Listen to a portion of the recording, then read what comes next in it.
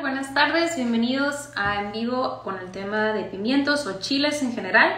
Vamos a estar platicando sobre eh, los tipos de invernaderos que normalmente se manejan para la producción de chile.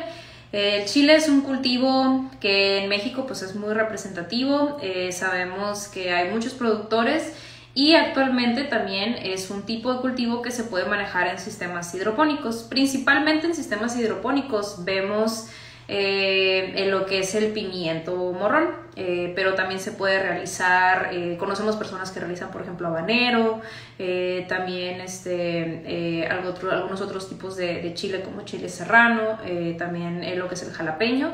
Pero principalmente en sistemas hidropónicos vemos lo que es el bell pepper, el, pimiento, el pimiento morrón. Y bueno, hoy vamos a estar platicando de los diferentes tipos de invernaderos y cómo los manejamos, ya que es un cultivo, como comentó, muy común y se puede manejar en muchos lugares, ya que es un cultivo que es resistente muchas veces a temas como la, temperatura, la temperatura comparado a otros cultivos eh, que a veces son más sensibles, como las berries, o inclusive, por ejemplo, como el tomate, que el tomate también es muy resistente, pero el chile a veces Dependiendo también del tipo de chile, es más resistente a temas de alta temperatura, por ejemplo. Entonces, esto mismo nos facilita muchas veces eh, el acondicionamiento del invernadero. Es por eso que a veces vemos invernaderos más sencillos, no porque eh, no se tenga lo mejor en ese momento la inversión para invertir en más tecnología, sino muchas veces eh, las condiciones ambientales no nos exigen tanto, ¿no? También obviamente hay que poner en una balanza eso siempre al momento de manejar un proyecto de este tipo. Entonces vamos a estar compartiendo información de los invernaderos de baja, mediana y alta tecnología y cuáles son los requerimientos que normalmente manejamos para chiles en general. Eh, los invernaderos de baja tecnología son invernaderos donde normalmente eh, no tenemos uso de energía eléctrica. Eh, también pueden entrar dentro de los invernaderos de baja tecnología lo que conocemos como mallas sombras, que aquí estamos viendo en este caso un poquito. Este tipo de, invernaderos eh, los vemos muy comúnmente, por ejemplo, en el área de Sonora, que es donde estamos nosotros. Aquí hay mucha producción de chile también. Eh, y la casa sombra siempre pues, es, un, es un tipo de invernadero común para esta zona árida. Eh, aquí en el área de Sonora, obviamente hay ventanas en las cuales se promueve más lo que es el, el, cultivo del chile. Muchas veces son ventanas que abarcan lo que es iniciar producción en diciembre, enero, febrero. Eh, hay muchos tipos diferentes de chiles que se pueden llegar a producir. Eh, vemos como lo es el chile morrón, el chile cascabela también, que es un chile amarillo que también comúnmente se puede llegar a producir acá en Sonora. Eh, y lo que muchas veces vemos como implementación, que muchas veces inclusive puede ser en campo abierto, ya dentro de una estructura protegida, lo que normalmente se maneja es una casa sombra. La casa sombra es una estructura donde por todos lados tiene malla, es malla, eh, por eso el nombre también de casa sombra. Eh, el techo es de malla, las paredes son de malla, eh, muchas veces la pared también puede tener malla un poco más oscura, como lo podemos ver en la imagen, para lo que viene siendo el poder reducir un poco los rayos solares. Precisamente pues en estas zonas tenemos mucha radiación, el chile es una planta que sí requiere radiación, sin embargo pues nos sobra muchas veces.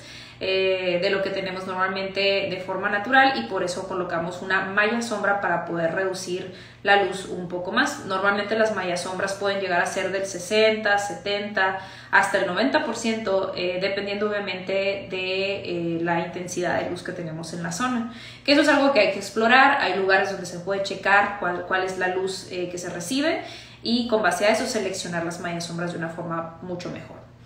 Eh, me ponen por aquí un comentario sobre el chiltepín. El chiltepín también es un cultivo muy común que se da acá en Sonora, eh, principalmente en campo abierto. Eh, actualmente hay muchos proyectos muy interesantes de personas que están buscando domesticarlo y hacerlo también en ambiente controlado. Es un tipo de producto que tiene un valor muy importante en el mercado acá en Sonora se vende a muy buen precio, eh, más cuando está fuera de temporada. Entonces es un tema interesante también. De hecho, en el curso que nosotros manejamos de pimiento, eh, tenemos una sección también de chiltepín, ya que nos han preguntado mucho acerca del cultivo de, este, de este tipo de arbusto, ¿no? que así es como, como le llamamos. Eh, el chiltepín también pues tiene obviamente estas condiciones de, tener resistencia a altas temperaturas, principalmente eso sí su producción es en suelo. Eh, se puede también llegar a hacer en sistemas hidropónicos, claro, eh, pero no hay mucho historial en ello y sí hay personas que están interesadas en este tipo de proyectos. Entonces, los invernaderos de baja tecnología, principalmente vamos a verlos en zonas áridas, zonas que a veces tienen un ambiente que es ideal dentro de la ventana de producción para el cultivo. Es decir, por ejemplo, estos sistemas generalmente no tienen un sistema de enfriamiento, no tienen un sistema de calefacción, es únicamente la malla sombra. Es recomendable, de ser posible, que la malla sombra pueda tener ventiladores, sinceramente muchas veces no los tienen, pero el ventilador siempre pues, nos va a ayudar, obviamente, ¿no? Es importante siempre tener ventilación. Yo sé que el invernadero es de malla y eso permite la entrada de aire, pero también es, es limitado, entonces eh, si tenemos dentro ventilación siempre va a ser mucho mejor. El hecho de que ahorita lo esté mencionando la casa sombra como un invernadero de baja tecnología no significa que siempre vaya a ser así, ¿no? O sea, un invernadero puede tener ventiladores, puede tener aspersores inclusive dentro, eh, esa es una pregunta muy común a veces en, en consultoría de personas que ya tienen casas sombras y tienen problemas de producción por las altas temperaturas y preguntan pues cómo pudiera ser posible reducir la temperatura eh, en una casa sombra, eh, además de usando malla sombra. La malla sombra obviamente te ayuda a reducir los rayos solares para poder eh, evitar el sobrecalentamiento del mismo invernadero. Pero al momento que ustedes ponen aspersores, los aspersores viene siendo evaporación de agua dentro del invernadero. Eso junto con ventilación nos ayuda a consumir calor. Entonces te puede ayudar a mediar un poco más el tema de la temperatura. En general, para los chiles eh, muchas veces vamos a tener un área de germinación o de propagación eh, donde vamos a tener un poquito más de malla sombra para tener un poco más de cuidado con las plantas que están más pequeñas. En esa sección normalmente las temperaturas en germinación son de 24 hasta 29 grados centígrados. Aquí nos podemos dar cuenta de, la tolerancia de estas plantas a la alta temperatura eh, y la germinación particularmente con un poquito de alta temperatura nos puede llegar a ayudar. Después, en la etapa de propagación, normalmente ya eh, vamos a tener como objetivo temperaturas de 21 a 27 grados centígrados.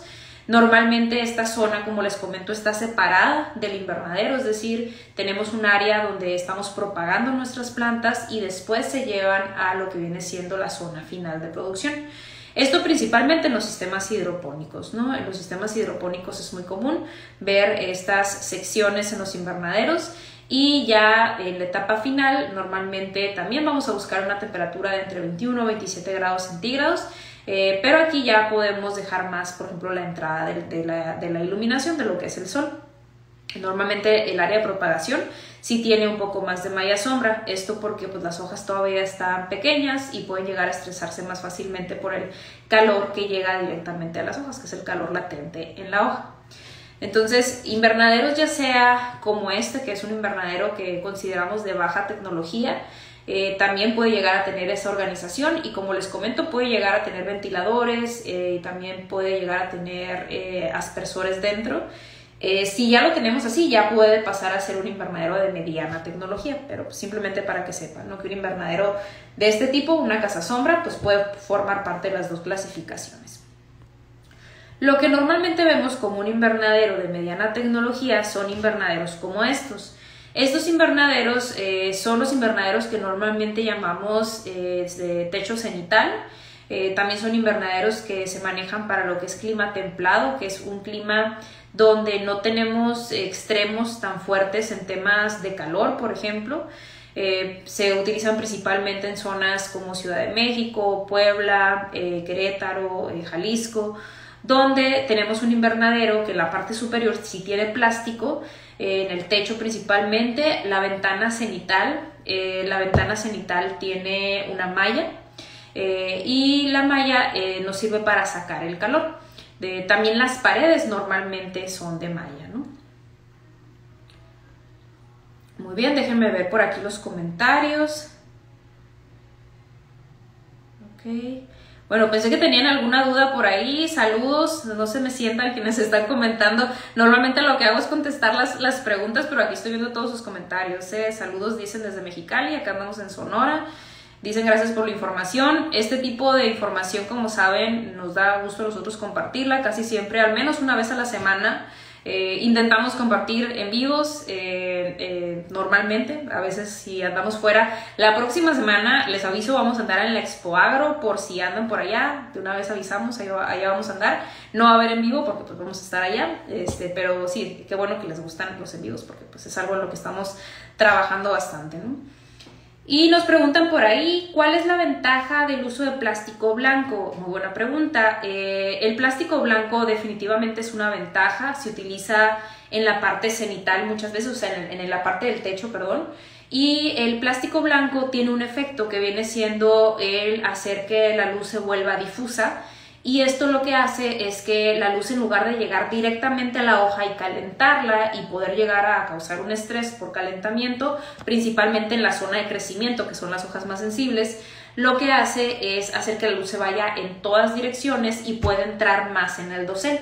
Entonces te permite una iluminación más uniforme, eh, eso te va a permitir también que haya un mejor nivel de fotosíntesis en la planta, ya que eh, muchas veces por cuestión de sombreo, eh, más cuando tenemos plantas altas, la luz se centra en la parte superior. En la parte superior tenemos el área de crecimiento, que son las hojas más sensibles. Entonces, si pega mucha luz en la parte de arriba, esas hojas sensibles pues van a estar estresadas y van a estar haciendo menos fotosíntesis. Y las que están más abajo van a estar recibiendo menos luz porque están sombreadas. Eso es lo que puede ser una situación, por ejemplo, con luz directa. En el caso del plástico blanco, vemos lo que es la luz indirecta o lo que es la luz difusa, que ya te permite que la luz se vaya a todos lados.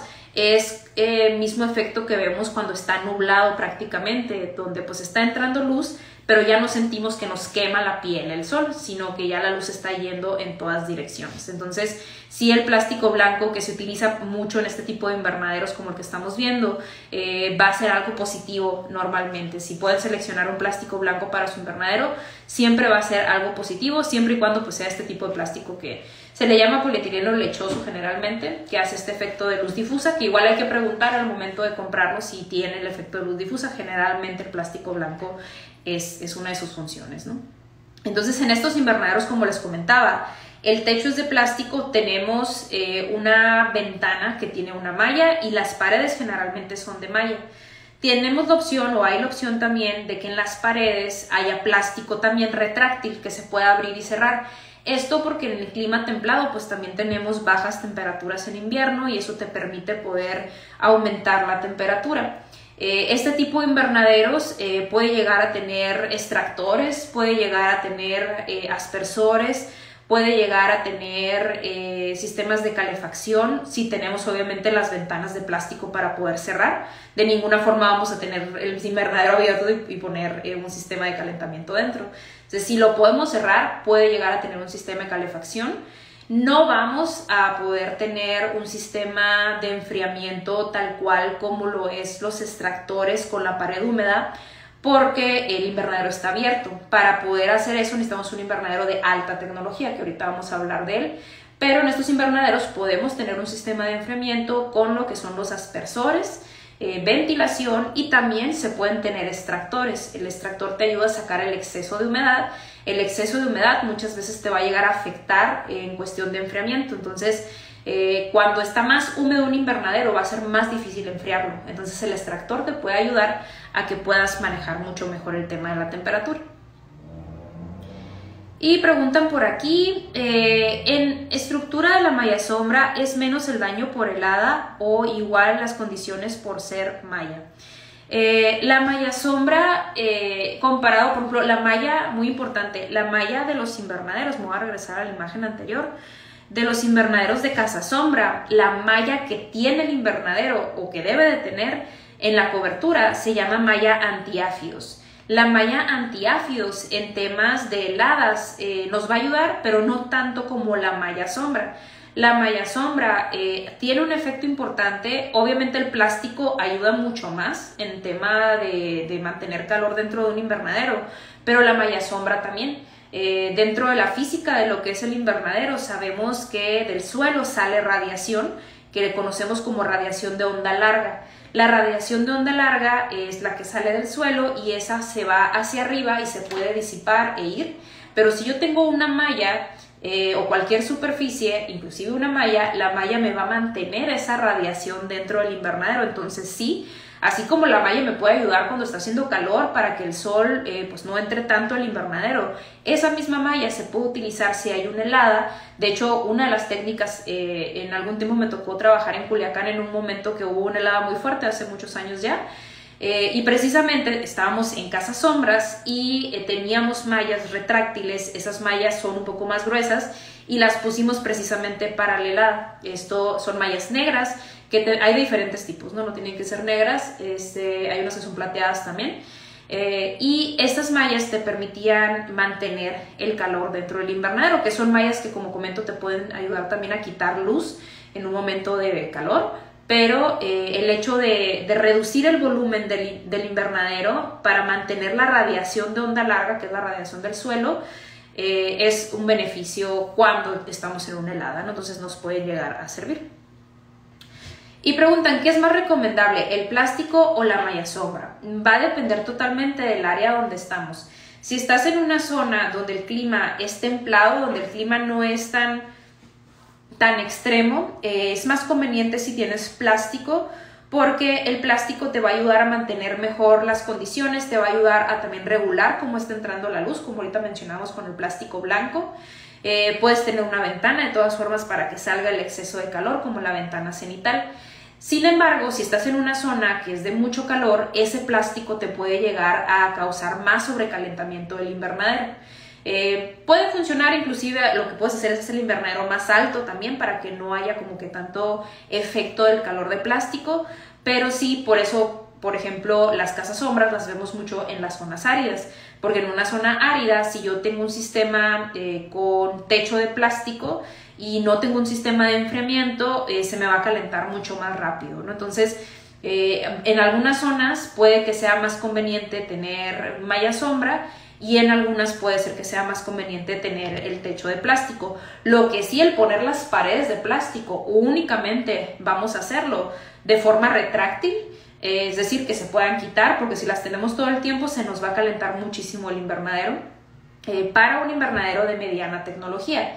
Hay invernaderos que son totalmente cerrados, de plástico, de vidrio, de policarbonato, por ejemplo, pero esos ya tienen sistemas de enfriamiento, sistemas de calefacción. Ahorita vamos a platicar acerca de ellos, ¿no? Pero en lo que vamos de invernaderos de mediana y, bueno, baja y mediana tecnología, eh, sí va a depender del área donde estamos y las condiciones que queremos. Si tienes una inclinación más a que estás en un clima que puedes llegar a tener problemas con el frío, por ejemplo, eh, ya el plástico va a ser una opción. Eh, si estás en un lugar donde principalmente lidias con temas de alta temperatura, puede que la casa sombra sea eh, una mejor opción. Cabe mencionar que, por ejemplo, una casa sombra se puede reemplazar por un invernadero de alta tecnología en las zonas desérticas y va a ser ideal, pero pues obviamente es una mucho mayor inversión, ¿no? Y preguntan, ¿estos invernaderos sirven para cultivo de hoja como lechuga? Totalmente. Eh, me ha tocado también ver productores que tienen este tipo de implementaciones.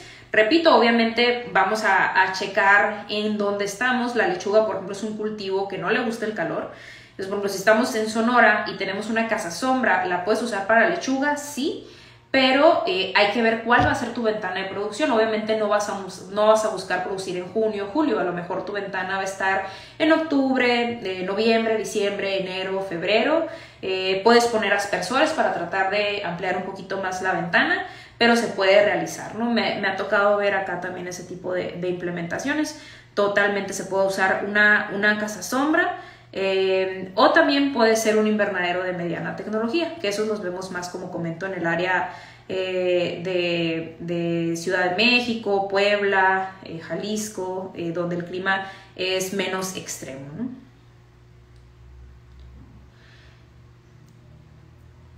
Y preguntan por acá si es necesario utilizar malla sombra a cierto porcentaje por la luz del sol, así es. Eh, los porcentajes más comunes, ahorita se los mencionaba, son el 70% en la malla sombra, es la cantidad de luz que se retira. Pero la verdad a mí no me gusta darles el dato así nada más. Quienes han tomado nuestros cursos como el curso de manejo de invernaderos lo saben. Eh, hay formas de saber, eh, uno, si tú tienes un sensor, que es totalmente recomendable tener un sensor, puedes saber cuánta luz llega a tu invernadero y con eso calcular cuánta luz se debe de quitar.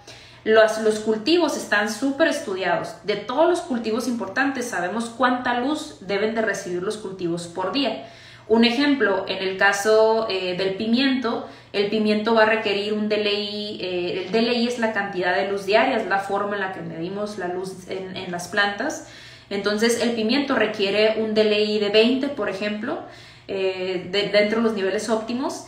Y puede ser, aquí en Sonora, por ejemplo, tenemos días donde el DLI está en 70, 60. Entonces, pues somos conscientes de que es mucho. Eso realmente no le afecta a la planta, eh, el, pimiento eh, o el chile es una planta que le gusta mucho la luz, pero afecta en cuestión de calor. Entonces ahí es cuando nosotros decidimos retirar iluminación para que no se sobrecaliente el invernadero y así es como vemos el porcentaje. El porcentaje se ve eh, con base a la luz que está recibiendo, es decir, no se vale que alguien te diga, ah, es que si tienes pimiento es una malla del 80%. ¿Por qué? Porque a lo mejor yo estoy en Sonora, a lo mejor alguien está en Chihuahua, a lo mejor alguien está en Ciudad de México, a lo mejor alguien está en Nueva York. Entonces, decir de forma universal un porcentaje de malla sombra nunca va a ser algo correcto. Hay que ver dónde estamos y cuál es la cantidad de luz que se debe de retirar. Eso es lo que correctamente se debe de realizar. Entonces mi recomendación es, hay lugares, hay páginas web, hay una página que se llama DLI eh, de Sun Tracker eh, y en esa página ustedes ponen el cursor en el área donde ustedes están ubicados y les da el promedio mensual de delay.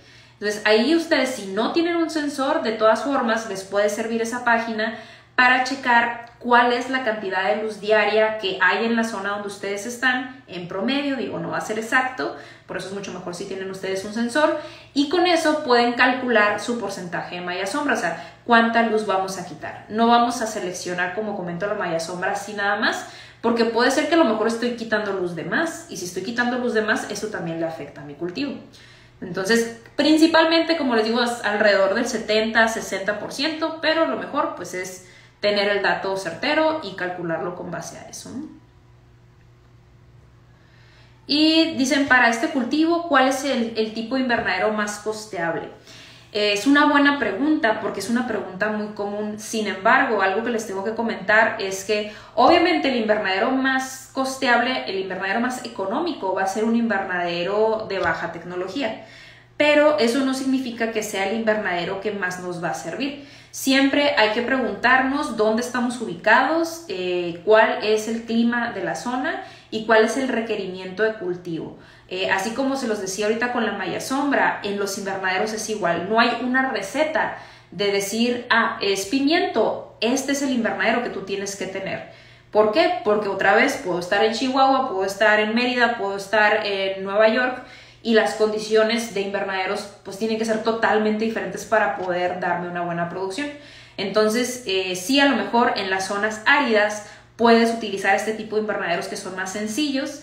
Eh, o en las zonas templadas, inclusive también puedes utilizar esos invernaderos que son más sencillos. Un invernadero de baja tecnología va a ser el más económico, pero si estás en una zona donde ese invernadero pues no te va a servir de mucho en cuestión de pues poder mantener las condiciones que necesitas, pues obviamente no va a ser una buena opción, ¿no? Entonces hay que ver dónde estamos, qué clima tenemos, cuáles son los requerimientos del cultivo y con base a eso juntar las condiciones que tú necesitas para producción y a lo mejor ahí ver qué es más costeable, es decir, que puede llegar a ser más económico pero que al mismo tiempo te dé un buen rendimiento.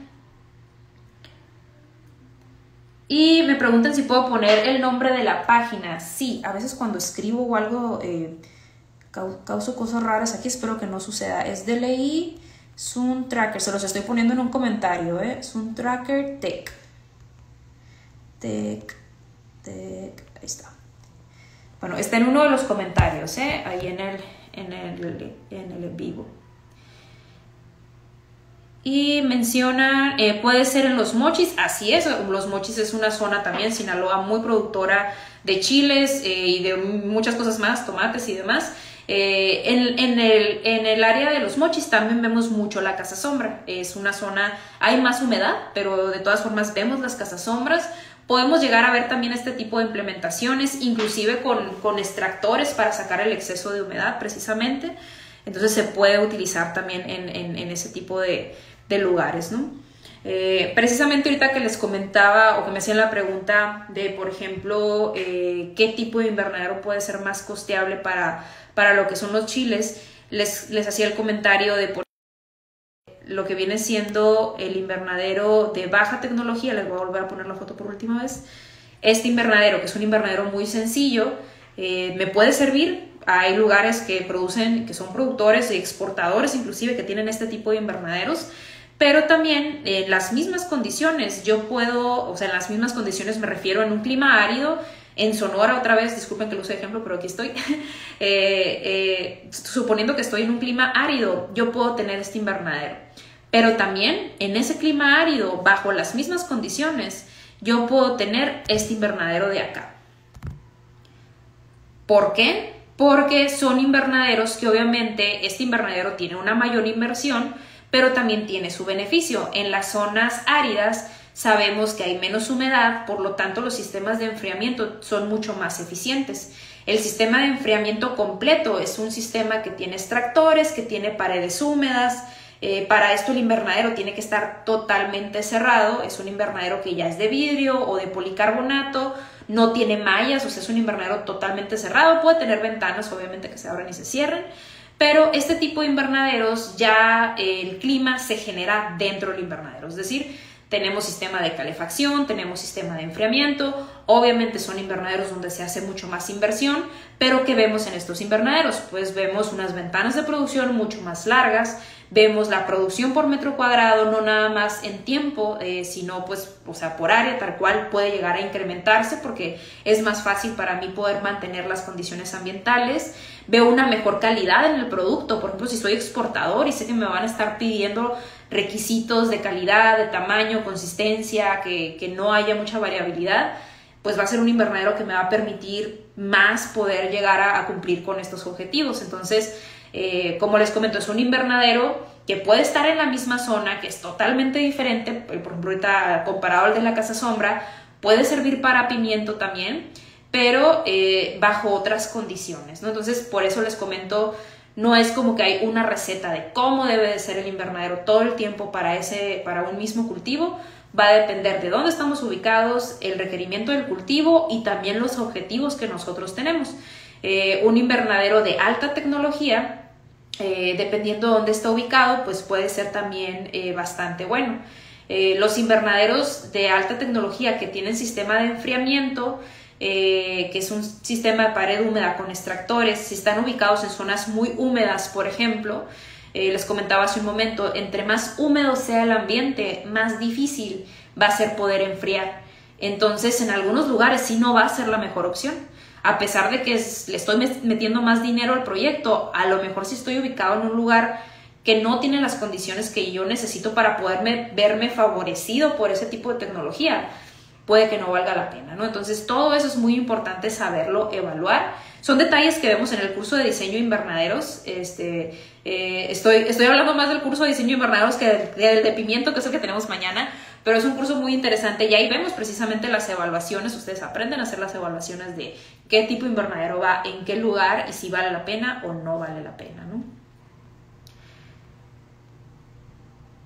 Y preguntan qué ¿Qué invernadero recomiendan usted para cultivo de flor? Eh, otra vez nos vamos al mismo comentario que les hacía un momento. Por ejemplo, eh, para flores vamos a necesitar también ciertas condiciones dependiendo del área donde estamos, ¿no? Entonces, generalmente eh, las flores se producen mucho también para el área, por ejemplo, de, Puebla, en Querétaro también, en el área este, de Ciudad de México. Vemos mucho, en el Estado de México vemos mucha producción de flor.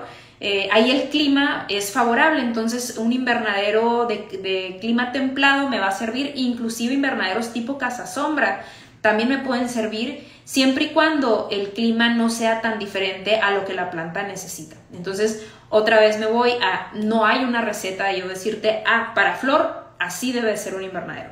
¿No? Va a depender de dónde estamos, eh, qué es lo que necesita el cultivo. Si el cultivo está en una zona donde el clima es muy bueno, pues a lo mejor una casa sombra es suficiente. eh, o, un eh, sistema de clima templado, si a lo mejor la temperatura ya empieza a subir, ya, ya, empieza a bajar mucho, por ejemplo, o sea que empieza a hacer frío, tener un poco de plástico te va a servir. Entonces, repito, o sea, no, no, lamento no poder contestar la pregunta, decir así es como debe ser, pero sería incorrecto, ¿no? O sea, va a depender de dónde estamos ubicados.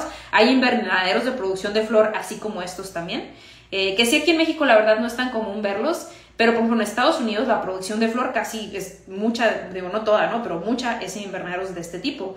¿Por qué? Porque eh, también muchas veces se manipula la iluminación, porque las flores a veces son de día corto, son de día largo, entonces queremos que florezcan cuando nosotros queremos. Eh, y hay mucha manipulación en cuestiones ambientales que te permiten hacerse dentro de estos invernaderos. Entonces puede ser de todo tipo, ¿no? Dependiendo de, de dónde estamos, ¿no?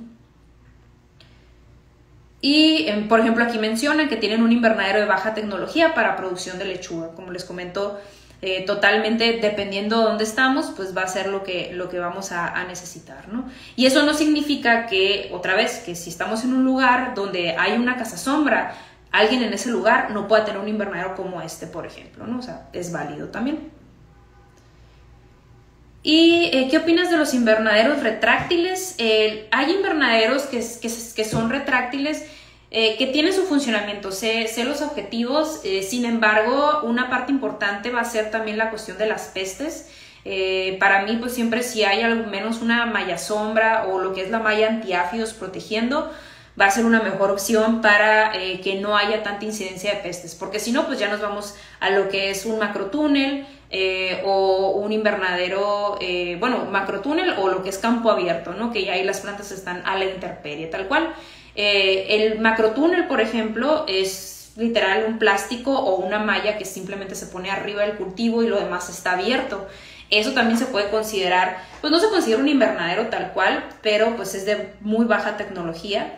Que también los vemos, o sea, es decir, si vamos a Jalisco podemos ver mucha producción de arándano, por ejemplo, en macrotúnel.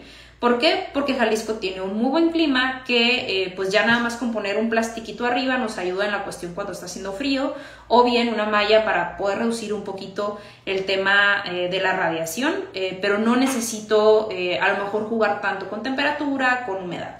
Entonces va a depender de, del lugar donde estamos. Y preguntan si los cursos tienen un costo. Así es, los cursos, aquí tenemos muchos en vivos, grabados, totalmente gratuitos. Tenemos también un canal de YouTube donde pueden encontrar muchos videos sin costo, pero tenemos capacitaciones eh, con el tema, por ejemplo, invernaderos. Mañana tenemos el tema de pimiento junto con chiltepín. Eh, los cursos que ya eh, son dentro de un horario generalmente son cursos que sí tienen un costo. El curso de invernaderos, por ejemplo, lo pueden encontrar también disponible en nuestra página web y lo vamos a tener disponible este mes también, ¿no? Eh, igual, ahorita al final les voy a, les voy a hacer de, su conocimiento que van a tener acceso ustedes a, descuento. Eh, nada más es cuestión de que manden un mensajito y les podamos hacer descuento para ya sea el curso de mañana o cualquier curso en el que estén interesados. Y aquí hay un comentario, dice, nosotros tenemos invernadero de baja tecnología para lechuga e invernadero de mediana tecnología, eh, pero batallo en cuestión de la temperatura precisamente probablemente el de mediana tecnología tiene plástico y se te empieza a calentar más, ¿no? Entonces, como comento, no por invertirle más, muchas veces va a ser una mejor opción. Eh, si tenemos el plástico, también hay que ver la altura del invernadero, nos va a ayudar a que pues, el calor se va hacia arriba, entonces hay que ver invernaderos más altos, generalmente son más fáciles de manejar en cuestión de temperatura.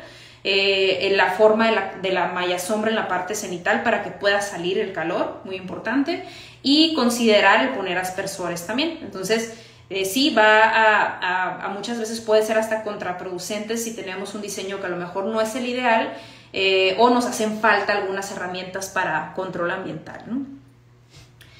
Y bueno, para lo que viene siendo eh, el pimiento, necesitamos tener ventilación, necesitamos una temperatura, ahorita ya se las mencionaba. En el tema eh, de la humedad, eh, la humedad normalmente vamos a intentar mantenerla entre el 60 y 65%. Eh, hay una unidad que se conoce como BPD. BPD es el déficit de presión de vapor, que es un juego entre lo que es la humedad y la temperatura. eh, se mide en kilopascales, eh, se trabaja mucho en invernaderos también. Para el pimiento normalmente tiene que estar entre 0.8 o 1.2 kilopascales. Esa es la, eh, la, presión, por decirlo así, que queremos mantener, que como comento es un juego entre lo que es la temperatura y la humedad. No hay calculadoras donde ustedes pueden poner la temperatura, la humedad y les calcula lo que es el, BPD. Eh, pero si nos vamos a lo que es la humedad relativa, entre 65 75% es la humedad que vamos a buscar normalmente para el pimiento dentro de los invernaderos. Eso considerando también la parte de la iluminación eh, y considerando la parte de la temperatura. Ya dependiendo de dónde estamos ubicados, pues vamos a ver qué es lo que le hace falta al invernadero para poder llegar a esa humedad o a esa temperatura. Eh, si la humedad está muy baja, se pueden poner aspersores. Si la humedad está muy alta, se pueden poner ventiladores y extractores, dependiendo del tipo de invernadero. Si la temperatura está muy baja, puedo llegar a poner calefactores o bien antes de llegar a eso puedo poner mallas, puedo poner plástico para encerrar un poco el invernadero.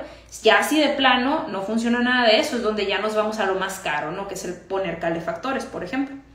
En el tema del calor, si está subiendo la temperatura, me voy primero a lo más económico, que es eh, poner una malla sombra, prender ventiladores, eh, poner aspersores y ya si nos vamos a querer ampliar todavía más la ventana de producción es ya poner este tipo de invernaderos que vemos aquí, que son invernaderos de alta tecnología, que ya es un sistema totalmente cerrado, donde se tienen eh, paredes húmedas y extractores, que es básicamente como un cooler, que te ayuda a reducir ya significativamente eh, la temperatura dentro del invernadero y eso es lo que te ayuda a producir por más tiempo. Pues este tipo de invernaderos que comento que pues son una inversión más alta, también te tienen el beneficio de que te van a ayudar a poder producir por más tiempo, ¿no?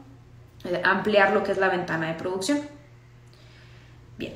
Pues esa es un poquito la información que les quería compartir con respecto a lo que son los pimientos, los chiles. Obviamente también hay que considerar dentro del invernadero eh, eh, la parte de, polinización, las prácticas, eh, pero si nos vamos a detalles generales, temperatura, humedad, BPD, iluminación, son los temas que platicamos el día de hoy.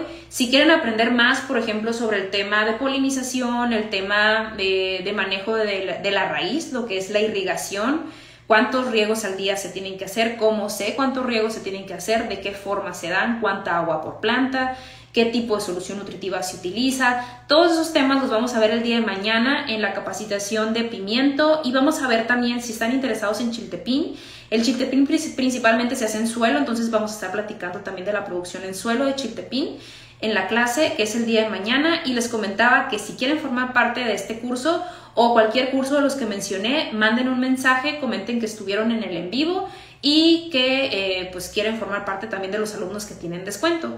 Eh, vamos a darles un descuento extra para la clase. Eh, normalmente nuestros cursos son de 4 a 7 de la tarde, se comparte grabación, si no pueden estar en el curso en vivo, les llega la grabación y pueden solicitar acceso en otra edición también, es decir, que ustedes pueden pues siempre tener la experiencia ¿no? del curso en vivo a pesar de que no lo hayan podido tener a lo mejor al principio.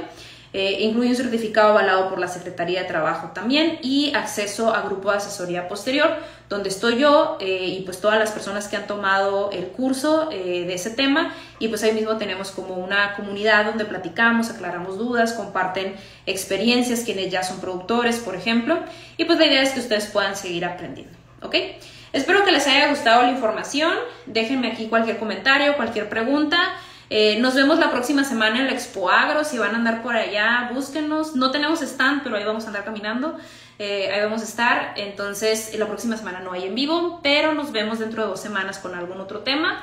Eh, tenemos curso nuevo también, el curso de Pitaya, por si están interesados, buscamos por ahí una persona experta que les pudiera ayudar en este tema que sabemos que es muy nuevo, o bueno, que está llamando mucho la atención actualmente, entonces también tenemos ese curso disponible para este mes.